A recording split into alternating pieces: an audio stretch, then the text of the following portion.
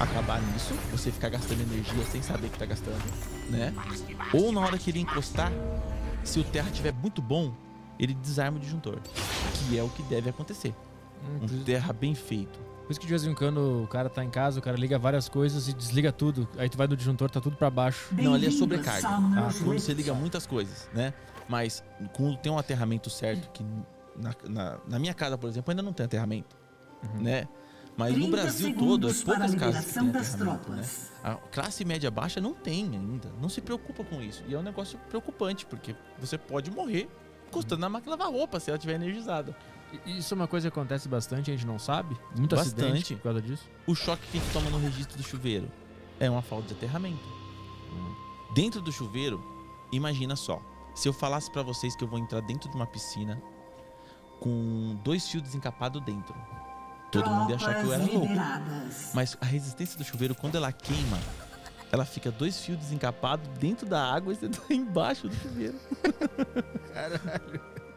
Eu sempre pensei isso, cara. É Não muito é muito estranho. louco? Eu nunca entendi chuveiro elétrico. É. Eu achei- achei- sempre achei contraditório. E aí o pessoal fala assim, ah, Leandro, mas tem as gotículas de água que estão caindo e estão separando, né? Um fio do outro. Não, você pode pôr a mão no chuveiro. Pode mão no chuveiro. E o registro? O registro, o cano tá cheio d'água. E a água tá pegando nesses fios. E a energia pode estar pegando do cano. Isso é registro, registro de metal. Entendeu? Então, as pessoas não têm noção do perigo. Entendeu? Se eu entrasse numa banheira com dois fios encapados dentro, o pessoal ia achar muito perigoso. Mas o chuveiro queimado em casa, sem aterramento, é normal. Você me lembrou um vídeo que eu já vi de um cara, ele tá em cima do trem, assim, dançando. Aí tá todo mundo rindo dele, que ele acha que tá bêbado, não Um sei. indiano, E aí daqui a pouco ele pega aqui em cima e morre na hora? na hora. Na hora. Vai ser Ali foda. é um outro negócio muito louco, cara. Porque ali a corrente é contínua. A corrente alternada, ela oscila. A nossa, nossas tomadas que a gente tem em casa, você tem mais e menos oscilando 60 vezes dentro de um segundo. Então, na tomada você não tem um ponto mais e menos. Então você pode ligar ao contrário, tanto faz. Ali a oscilação tá Isso vai ser sempre para um lado e para o outro. Mais e menos, mais e menos, mais e menos. Na, na, na linha de trem, você tem corrente contínua, que é a mesma coisa da bateria do carro. Você tem ah, o mais fixo de um ponto e o menos no outro. No caso do trem, o, o trilho é o negativo e o fio que tá lá em cima é o positivo. Então o choque é completamente diferente. A energia é completamente diferente. O negócio é muito louco, cara. Então, quando aquele indiano colocou a mão ali, é 3 mil volts. Quando ele colocou a mão ali, faz só assim, ó. Já era. Acabou. Eu, eu lembro que ele só cai, assim. Ele nem explode, não, ele só cai. O, o bom do- da corrente contínua é que ela é mais segura. É mais segura que tem. Por quê? Pra você tomar um choque nela, você tem que ter mais e menos pra tomar choque. Se nas nossas casas tivesse corrente contínua, pra você tomar um choque nela, você teria que pegar dois fios e enfiar nos dois buracos da tomada ao mesmo tempo. Entendeu? E a alternada não. A alternada basta você pegar num fio e encostar na parede e você não toma choque. Entendeu? Então, na briga, né, de, de Thomas Edison lá, é, da, da, da, da briga de DC e AC, houve esse, esse, esse diálogo, né? Tanto que um deles é, eletrocutou um elefante pra mostrar que a corrente alternada era muito perigosa. Sério, você viu disso? Foi do. Vê se, que ele- Foi, foi do, do Thomas Edison e do Vamos Tesla? Tesla. Isso, Thomas Edison e do Tesla, eu acho que é esse mesmo, os dois. Foi, se não me engano, foi. O pessoal corrige a gente nos comentários aí. Isso. É, um defendia a corrente contínua e o outro defendia a corrente alternada. Né? Antigamente era tudo corrente contínua. Os cabos eram desse tamanho, porque a corrente contínua ela perde muito em longas distâncias. E a corrente alternada não, você consegue levar ela mais longe. Independente de tensão, né? Então, do tipo de corrente mesmo. É a guerra das correntes. Guerra das correntes, exatamente. Quem quiser assistir, tem séries, né? Tem, tem, tem documentários muito interessantes sobre isso, cara. Cara do cara. Bota o Wikipedia da Guerra das Correntes aí. E, e aí os, os, Boa. os caras eletrocutaram um elefante pra mostrar, né, a- o quanto a corrente alternada seria perigosa. né? Mas é lógico que o custo era muito mais baixo. O vai ganhar o custo. E a expansão das cidades também né, Sim. foi uma coisa que contribuiu, né? Corrente contínua hoje não, meu, seria muito custoso e a gente talvez não teria, não estaria aqui gravando vídeo hoje. Porque a evolução dependia disso, né? Então a corrente alternada veio para evoluir mesmo, baratear o custo de tudo. Obrigado a esse elefante aí, porque Coitado do elefante, agora a cara. gente, a gente É, a briga dos caras aí. Cara, isso- ficou bravo com a piada. Se não fosse esse elefante, não estaria aqui gra- gravando podcast. né? É, cara. E, e aí eles conseguiram. é, foram pioneiros, todos eles foram pioneiros na, na- na parte da, da energia elétrica, mas a história é muito louca, cara. E É, os documentários que tem a respeito são fantásticos. Vale a pena você assistir.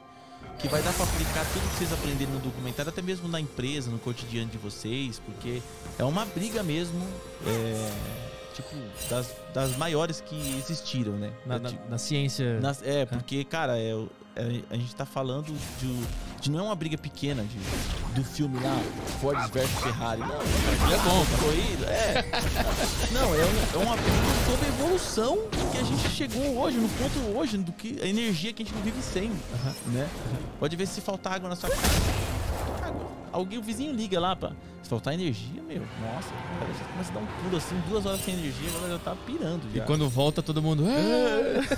É muito, é muito bom. É quando fica tipo 8 horas assim. Lá, lá eu sou de Porto Alegre, né? Lá chove pra caralho e venta muito, no, principalmente no verão, porque é muito quente. Então sempre que chove, sempre falta luz. É Caramba, cara. engraçado que aqui eu tô morando em São Paulo há um ano faltou luz uma vez ou duas. Aqui é muito difícil, em São Paulo é muito difícil. Tem é, no centrão de São Paulo mesmo, é tudo subterrâneo. Ah, por isso. Então a chance de cair é, meu. E aqui é o seguinte, em São Paulo, se cai a energia, o processo em cima dos caras é muito grande, sabe? Há processo, tu tem empresas que perdem dinheiro com isso e tudo. Então, é, o, que eu, o que eu, eu fico mais triste, né? É que muitas vezes eu vejo empresas, que eu trabalhei num, num prédio que tinha duas usinas. Usinas de motores a diesel, motores a gás, né? É, e uma estrutura muito louca. E quando acabava a força, o pessoal tinha, cara, dias, horas de energia, né? Pra ligar os computadores, pra manter computadores funcionando. E hoje, um hospital, por exemplo, não tem um gerador. Um hospital de cidades grandes não tem um gerador que mantém o hospital todo funcionando. Talvez tenha um gerador para UTI, né? Mas por que não um gerador para manter o hospital é muito complicado ou é simples? É É só super, fazer. é super simples, cara. Você tem uns computadores pra manter a internet é mais importante do que liga no hospital, né? Um gerador. Tem um gerador no hospital, aí você vê que acaba a força, o hospital fica sem energia. É, eu fico. No Brasil é complicado essas coisas. Eu acho que é tudo poste, né? Não é sushi. Que é? É, a maior, a maior parte do centro de São Paulo é subterrâneo. Agora é, lugares mais remotos, né? Que nem eu tô lá em São Roque. São Roque, cara, não pode garoar. Pum! É? É.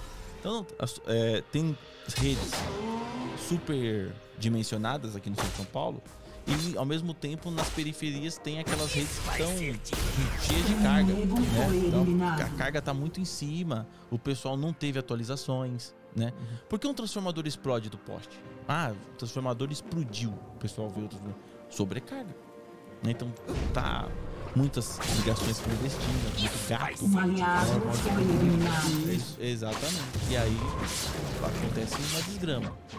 Lá sempre, sempre no dia seguinte da tempestade eu saía na rua, né, pra fazer minhas coisas. Sempre tinha um cara da CE lá, que lá é a CE, na escadinha tentando arrumar o cabo, porque sempre caía uma árvore num cabo, ou o vento derrubava um poste, sempre. E tipo, no, no centro, assim, em lugares não, não remotos, no meio da cidade mesmo. Então, lá, lá na minha região, como eu entendo um pouco, eu, eu- quando acaba a energia, eu sei o que aconteceu mais ou menos, né? Eu sei aonde desarmou, o- onde queimou o fusível, onde abriu a chave. E, e os caras sabem também. Os caras que trabalham com isso sabem, porque toda semana os caras têm que estar tocando com lá, né? E com certeza eles relatam, né? Mas o investimento na área é muito pequeno, cara. O pessoal vai demorar Neutralizado. anos, talvez, pra fazer um retrofit, talvez melhorar, né? Então vai ficar aquele problema se empurrando com a barriga, como a gente sabe que funciona as coisas no Brasil, infelizmente. Tu mora lá em São Roque desde, desde sempre ou tu se mudou pra lá? agora? Não, tô há quatro anos em São Roque. é, vai fazer cinco anos agora morando na casa container. É, da Casa Container, é legal falar isso aí. Eu vi, não sei se foi no YouTube ou na Netflix, uma série que o cara construiu uma, uma casa num container. Já, já viu essa? Foi daí que tu te inspirou? Foi assim, é, na época eu precisava construir e não tinha grana. Como todo brasileiro, aí tava ferrado, né? Tava lotado. E aí eu saí de uma empresa, entrei numa outra empresa, né? E aí eu consegui um dinheiro, né? Da, da rescisão e tudo. E aí eu falei, tem que fazer alguma coisa. É o único jeito do cara sair do aluguel é fazendo doideira, cara, loucura. E aí meu pai falou pra mim, pô Leandro, tá vendo aqui? E ele fica assistindo, meu pai é fanático nesse negócio de veleiro, esses negócios aí. É o sonho dele também, porque nas condições dele não dá pra ter ainda um, um barco. Sonhou. E nessa de ficar vendo esse negócio de veleiro e tudo, casa container cai nesse negócio, né? E aí ele mandou pra mim, falou, Leandro, é a hora que os caras estão fazendo. container. E aí eu já sabia mexer um pouco de ferro. Eu falei, meu, vou entrar nessa parada aí. Eu entrei na, na, época que eu entrei, não tinha informação nenhuma, só os gringos falando. E eu sabia de nada. Um aliado E aí eu falei, vou comprar um container. Comprei um container.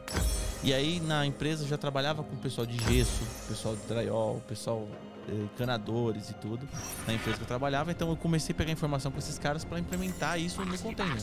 Eu teria que entender sobre esse assunto para poder fazer paredes dentro do container. Né? E aí eu não sabia se era certo, eu não sabia se ia passar calor, se ia passar frio, se a casa ia ficar confortável, se a casa não ia ficar confortável, não sabia. Um A minha ideia era, vou tentar fazer o melhor possível, né? Porque tu tava, tu tava morando numa casa que tu queria sair de lá, tu queria ter tua casa própria. É lance. Isso, eu tava morando na casa do sogro. Sogro, um paizão pra mim. Cara, não tenho o que falar do sogro. Sensacional, foi demais. Mas eu tava acomodado já lá, tava fazendo uns três anos que tava na casa do um jeito. Então o container foi de partida pra fazer isso. É lógico que o sogro não gostou, né? Você vai morar com a minha filha dentro de uma lata, cara. Vai sair Mas tu acha, né? Foto de casa em container, é muito bom. Cara, tem umas casas muito loucas. E eu vi aquilo, falei, pô, vou conseguir fazer isso. Isso eu consigo fazer. Não vou depender de pedreiro, não vou depender de nada. E aí comecei. Eu e ela entramos nessa- parada, eu tive que convencer a mulher, né? Pra convencer a mulher eu já tinha que mostrar que eu sabia fazer. Né? Uma- Eu vou conseguir fazer. Vai dar certo. E aí, mas fotos na internet, né? Que nem tinha vídeo aí, algumas fotinhas na internet e eu meti as caras na casa container, cara. E foi muito bom pra mim. Uma porque gerou conteúdo, eu economizei, né? gerou conteúdo, né? E, e hoje a série Casa Container tá já gigante já. E não é por querer, não. Eu quero terminar a casa.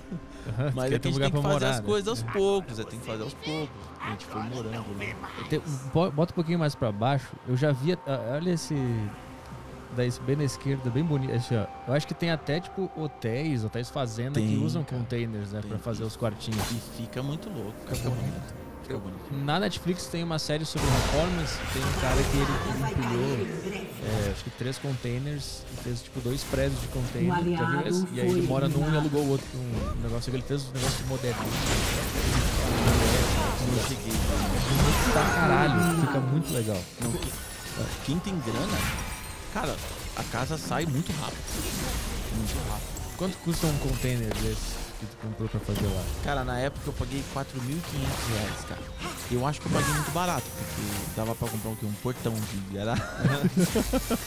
um valor. Se eu comprar um móvel de pia, né? Planejado, vai sair mais ou menos assim. Na época eu paguei muito barato, mas hoje deve estar na faixa de 10.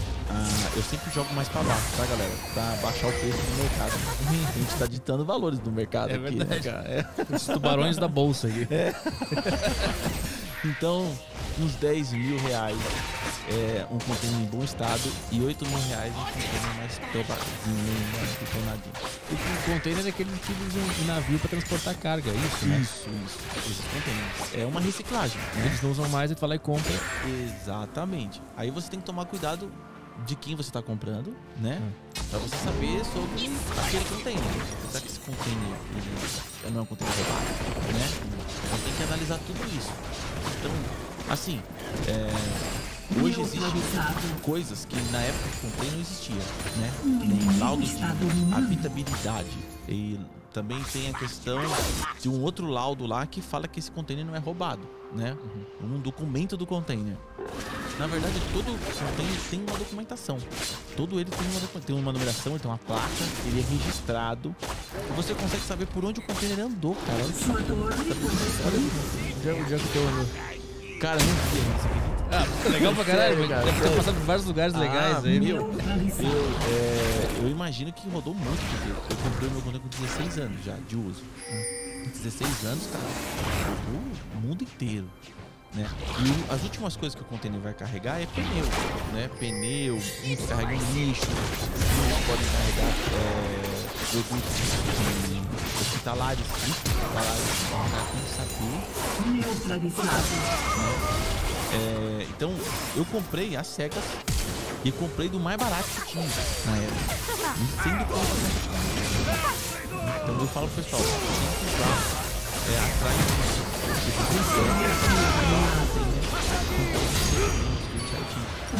Não foi eliminado. Por exemplo, você comprar um container que teve lixos radioativos, pode acontecer. Sim. É muito perigoso. Então, tomar cuidado. O container ele começa quando novo, carregar carros, né? Ou equipamentos, maquinários, coisas caras. Depois de um certo tempo, ele começa a carregar lâmpada China, né? Ah, lâmpada LED, isso, aquilo. E aí vai caindo, vai decaindo, vai decaindo, até começar a carregar pneu e lixo, né?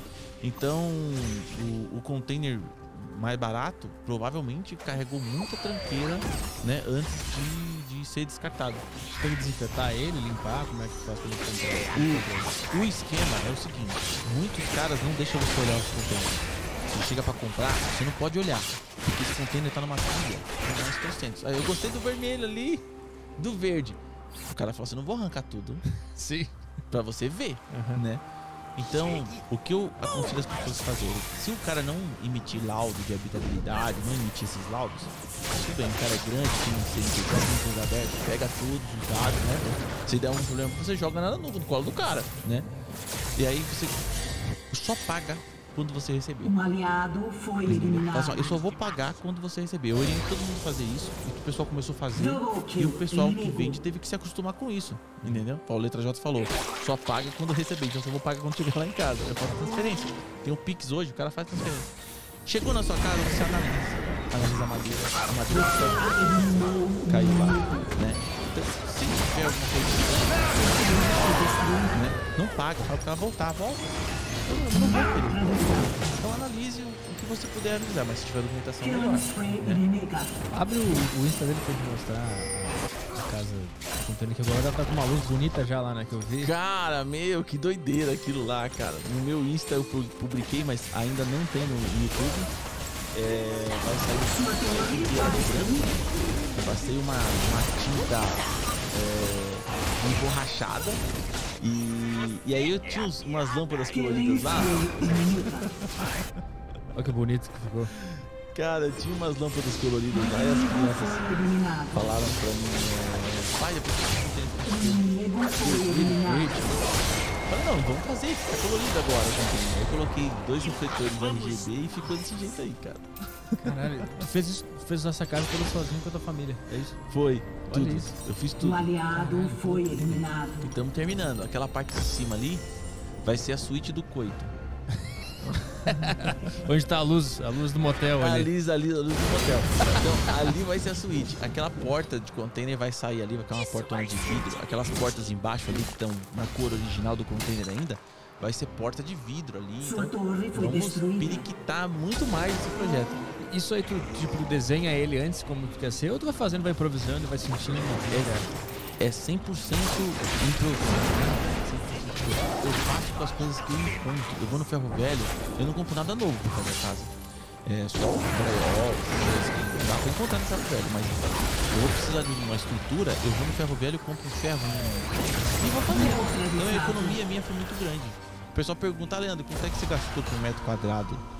Quanto é que custa uma construção dessa por metro quadrado? Eu não sou engenheiro, não sou arquiteto, não sou nada, então eu não consigo calcular. E o, o que eu fiz tá fora de qualquer padrão, né?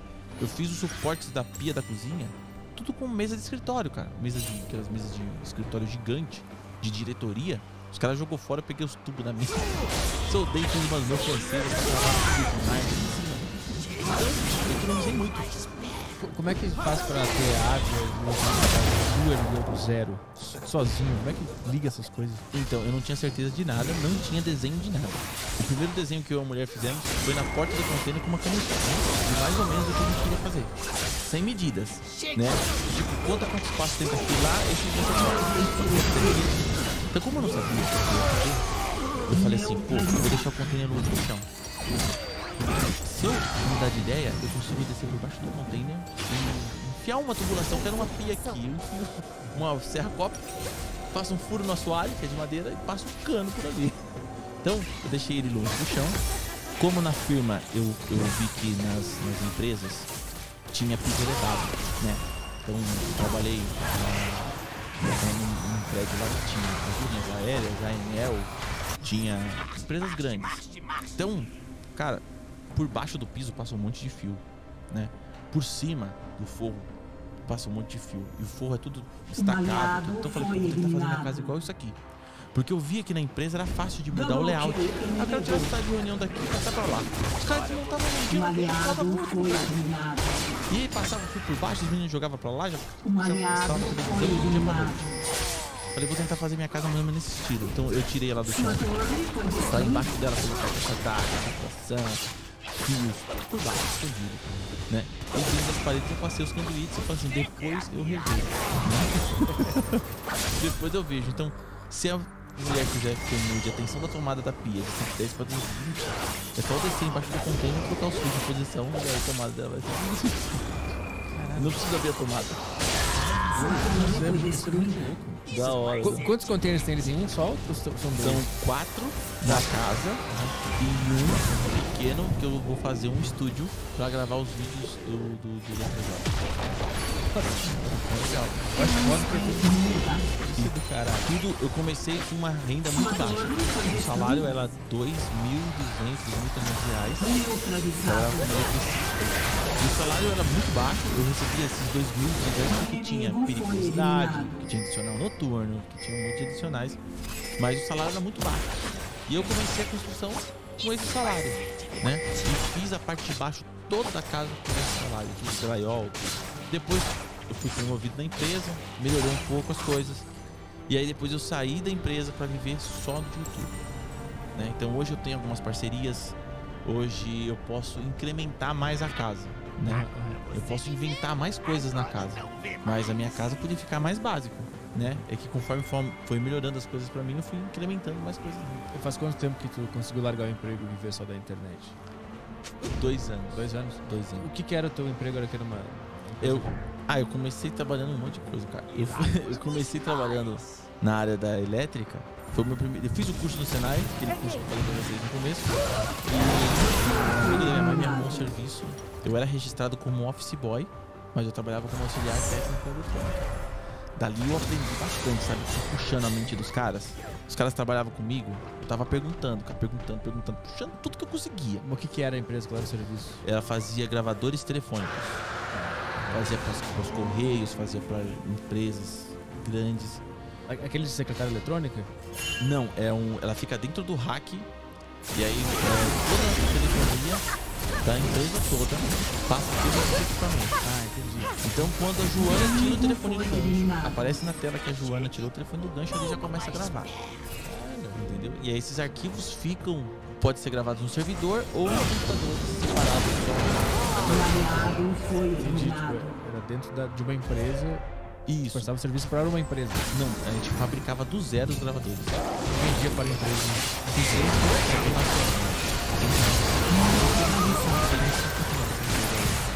Porque ela tinha muito potencial e era 100%. Eu acho que com a- tecnologia agora de WhatsApp, essas coisas. É, Não se hoje usa mais, né? Não se usa mais, mas tipo, uma empresa que tinha pra crescer muito. Isso era o quê? Década de 90? Não, não, é 2000 e... Ah, mais recente. Foi o meu primeiro emprego, eu tinha aqui 15 anos. É, eu comecei a trabalhar lá. Aí saí dessa empresa e fui trabalhar numa fábrica de alarmes automotivos. Onde se fabricava o alarme também 100% nacional, a gente fabricava tudo, tudo, tudo, tudo. E até para até sirenes e tudo para marcas famosas, né? Então eu aprendi muito lá também. Cara, peguei muita informação. E aí saí de lá e aí fui montar minha oficina. Aí saí da empresa, comecei a conversar com meu primo. Eu entendi de elétrica, então eu falei assim, ó. Eu vou pegar a moto pra mexer, porque eu gosto de moto. O carro é muito apertado, né? Então eu sempre cortava minhas mãos no carro, mexia no carro. Vou mexer com moto. E eu vou pegar umas motos que seja tudo, só BO. Aquelas motos que ninguém consegue resolver. Tá, tá, tá, tá endemoniada essa moto aqui. Tem que resolver o problema dela, ou exorcizar. Era o lata velha da- das motos. E aí eu peguei só as motos problemas elétricas. Apareceu um som pra instalar pra gente sobreviver, né? Mexer com o carro também. Mas a moto era o nosso foco. E meu primo começou a se especializar em mecânica. Compramos uns cursos em DVD, começamos a assistir, começamos a pegar as motos dos primos, do pai. E ia ferrando com a moto do- dos parentes primeiro pra depois pegar as motos dos clientes, né? Aí começamos a regular a válvula, mexer, arrumar. E tava rendendo bem. Tinha três, é, era eu e mais dois sócios que cuidava da oficina. Oficininha de garagem, tava bem completa. Aí a mulher engravidou. A mãe engravidou e aí eu falei pro meu primo tinha uma renda, a oficina gerava uma renda boa. Só que a gente reinvestia tudo, cara. Tudo. Pensa nos caras que não se cuidavam. Andava que nem mendigo. Um mendigo mesmo. Todo o dinheiro que tinha, a gente reinvestia. Era equipamento que comprava? Uma coisa especial, e e que comprar um eleva- elevador. Eu tava investindo. E eu falei pro cara, pra eu preciso de uma garantia. Tinha mês que era bom, ia demorar pra crescer. Tinha, cacife pra crescer rápido, né? E eu falei, ó, vou voltar a trabalhar, né? E, e aí eu vou arrumar qualquer tipo de emprego pra frente. Aí eu virei atendente de pizzaria, virei forneiro, pizzaieiro. Trabalhava júlio de tudo, fiz. Trabalhava de frentista de dia e de- na pizzaria à noite. Cara, eu tava abastecendo já. Dormia, tava abastecendo, cara.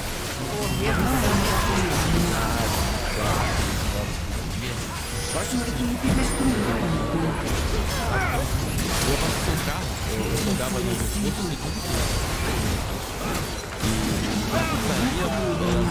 se, se casasse a terça-feira, seria ótimo. Sábado e domingo seria legal. Então se casasse uma terça, seria perfeito. Então era uma, era uma folga a cada duas semanas.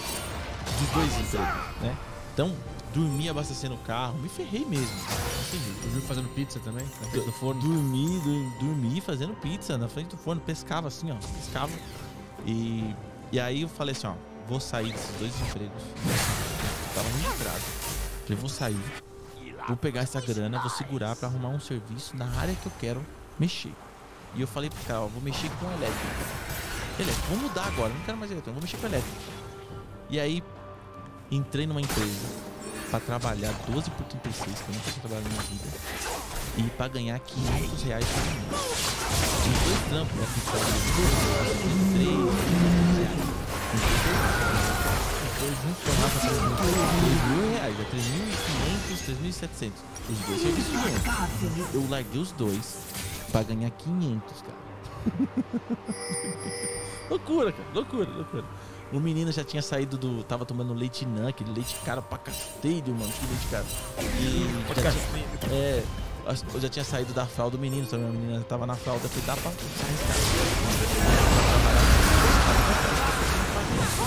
hora que eu tenho que jogar o, tá bom fora pra melhor. Né? Tá pra você conseguir perfeito, mas vai ter que cair. Não dá pra você chegar no topo e sair do topo e entrar no outro mais, mais não dá. Então eu dei dois passos pra trás, comecei a trabalhar meio oficial de elétrica. Não tinha curso, cara. Os cursos que eu tinha não valia nada. Mas eu tinha conhecimento. Eu não tinha um curso, mas eu tinha um conhecimento. Então, eu discutia com os eletricistas, fazia desenho na lousa, defendia minhas teses e tudo. E na época, a empresa estava passando por um problema. Então não passava, não parava supervisor. Ficava sempre trocando supervisor. E os, os caras que mandavam nos contratos, os gestores dos contratos, tinham que ficar no lugar de supervisor. E aí eu pude aparecer. Porque é difícil um peão aparecer. né? Eu pude aparecer pra esse cara. Esse cara falou assim, pô, ser Leandro, você quer virar eletricista? Com foi três meses eliminado. trabalhando, cara. Eu- O que que é essa empresa aí? essa, essa empresa prestava serviço pra esse prédio que eu trabalhava. Tá, tá. Eu era uma. Eu era terceirizado do terceirizado. Isso aqui. Aí, os caras falaram assim, ó, Leandro, vou passar você pra eletricista. Eu vou fazer um teste com você, vou mandar você pra um prédio que você não conhece, na Paulista. Se você vai virar eletricista, você não pode falar que você não é eletricista. Você vai falar que você é eletricista. Olha que, olha que o gestor falou pra mim. Você vai falar que é eletricista, cara. Tá bom? Então, beleza. Tá bom, cheguei no prédio pra cobrir férias o cara. Foi eliminado. Putz, fiquei um mês lá, não dei nenhum BO. Resolvi tudo. Trabalhar. Resolvi tudo o prédio inteiro, cara. O cara me chamou falando, agora você é eletricista. Com três meses trabalhando. Aí, trabalhei mais um ano. Os caras ganhando que Não, aí aumentou o salário. Aí já foi pra dois mil. Aí já foi pra dois mil. Aí, trabalhando lá, falei, cara, vou ficar ninja nesse prédio. Eu sabia de tudo que tem nisso, né? Então eu tinha força de vontade, cara. Eu ia, fazia o meu serviço, o serviço dos outros. Eu não importava, eu. Então quando eu tinha um evento de parada técnica, uma empresa que fazia parada técnica, esses prédios que eu trabalhei, é, grandes empresas, traba- é, alugava, né? Salas, comerciais grandes. Isso, gigante. Na Só, Paulista, né? Deve ser bem foda. não, é, o, o da Paulista foi só o teste. Ah, tá. Então. Essa foi em Alphaville, Pô, Barueri. foda também. Então só tinha só as empresas mais ferradas.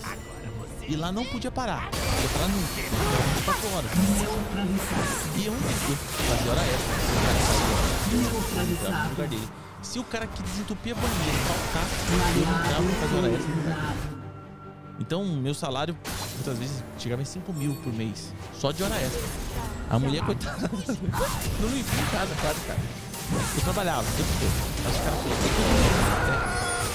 Eu era o cara que mais estava no prédio. Então, só dava meu nome. Ô Leandro, onde tá não sei o quê? Ô Leandro, como é que foi não sei o quê? Ô Leandro, já bateu a chave aí? Eu, eu, rádio. Quem que é esse Leandro? É um cara, que todo mundo fala, pô, esse sabe que tá lindo, ele que fez aquilo lá. Aí, bom, pô, esse cara é um supervisor. Agora Esse cara supervisionando a equipe toda. Porque todo supervisor chamou ele.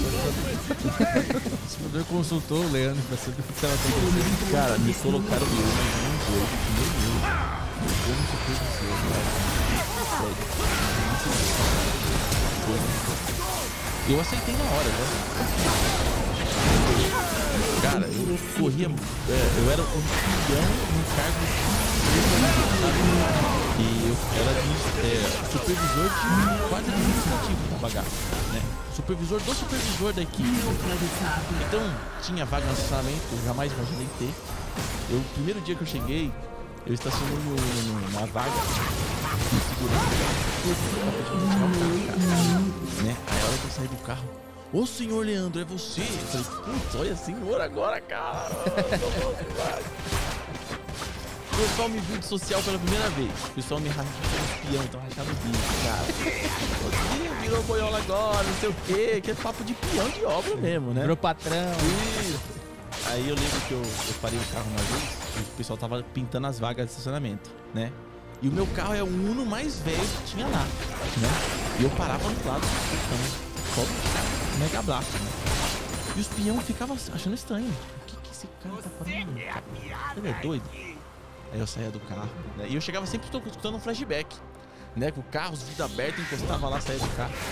Aí os peão ficam pra mim, né? Falei, ó, fique sabendo vocês que todos esses chefes aqui, ó, eu sou o que mais transo. ó meu carro, ó. É verdade, é verdade, é verdade. Mas esses caras aí, ó, nenhum deles. Você viu que todos eles passaram aqui, ó, com a cara de bunda. com o notebook embaixo do braço, nem olhava nem pros lados. Eu tô dando risada, cara. É verdade, é verdade. E eu corria com a equipe. A equipe trabalhava comigo de um jeito fantástico. Eu, os caras não queriam fazer o negócio. Ah, vou, vou ficar com vocês aqui. Vou, vou ajudar vocês. Vamos comprar uma pizza, vamos comprar uma pizza. Não, vamos fazer. Os caras trabalhavam comigo. Independente se era pra fazer o serviço, se era um serviço que não era do nosso corpo. Os caras, se eu pedisse pros caras fazerem, os caras faziam. O Leandro pediu, eu vou fazer. Né? Só que aí, olha só que louco, cara. A empresa Eu era terceirizado do terceirizado. então, eu fui contratado para coordenar a equipe e. Então, o, o gestor do contrato falou para mim, ó, Leandro, é o seguinte. é, o dono do empreendimento, né? O, o- seria o síndico do. O engenheiro, lá não tem síndico, é o engenheiro mesmo que cuida do empreendimento. Ó, Leandro, você vai cobrar a sua empresa. Os meninos estão usando EPI, tá usando uniforme, como está o uniforme dos meninos, questão de salário, pagamento, tudo. Você vai ver tudo. Você vai conversar com a equipe de ja- jardinagem. Jardinagem foi tá ruim, os meninos não tá vindo, veio, não veio. Vai cobrar os caras, vai cobrar os caras da segurança. Vai cobrar... Então eu cobrava todo mundo, né? Sempre numa boa, sempre numa boa. Só que aí, os caras da minha empresa falaram, eu não pedi pra contratar esse cara. Os caras pediram contratar ele. Eu não queria promover o cara. O cliente precisa promover ele. O cara tá me ferro. O cara tá me cobrando o tempo todo. Um monte de coisa. Então, meu. Eu não tentar ferrar com esse cliente. Ele é o único supervisor que na cidade. Porque eu era o supervisor que subia pra tirar o motor. Rasgava a camisa social aqui nas costas. Ferrava tudo. Eu falei assim, meu. Os caras falaram assim, meu, vamos ferrar com o Leandro. Tira a periculosidade dele. Cara, imagina, eu construí na casa container. Empréstimo feito. Vai vários empréstimos. Devendo tudo, cara. Devendo tudo. Pagando. Tudo que eu ganhava ia pra pagar os empréstimos pra construir a casa. E de repente os caras cortou minha periculosidade. Fiquei muito puto, muito puto. Você baixou quanto o teu rendimento depois disso? Cara, meu salário tava 5 e alguma coisa, caiu pra 3 mil reais. E 2 mil reais fez uma diferença absurda pra mim. Eu não fazia mais hora extra, porque como supervisor não faz hora extra. E não batia ponto também, né? Cargo de responsabilidade. Tem que estar lá se você não tiver der BO. Ferrou. Então eu falei, pô, é a melhor coisa que aconteceu comigo. Fala pra vocês. Cara, tem mas, males que vem para o bem. cara. Foi a melhor coisa que aconteceu comigo. Eu sou um cara que eu sou meio. mais. Tem gente que não quer largar a marmita. Fala, "A marmita, minha marmita aqui, que é o salário. Ah, não vou largar porque não vou conseguir outro. O YouTube tava dando uma renda. de Uns mil reais. Então nessa época tu já tava fazendo. Durante toda essa história tu começou a fazer YouTube também. Isso, o, o YouTube já tava rodando. O YouTube tem muito tempo o canal. Então nesse, nesse meio tempo já tava rendendo ali 1.500 reais. Eu falei, caramba, destruído. os caras "Meu, vocês vão resolver isso pra mim, vocês vão cobrir. A empresa tirou a responsabilidade, vocês vão cobrir meu salário Seu 2 mil. inibidor foi destruído.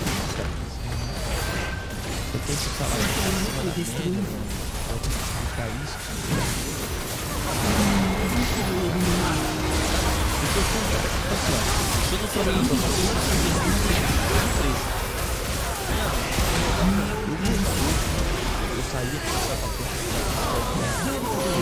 pega peça, depois a empresa me paga, depois me envia, dá uma nota fiscal. Fazia kill. funcionar, fazia funcionar agora, tá funcionando.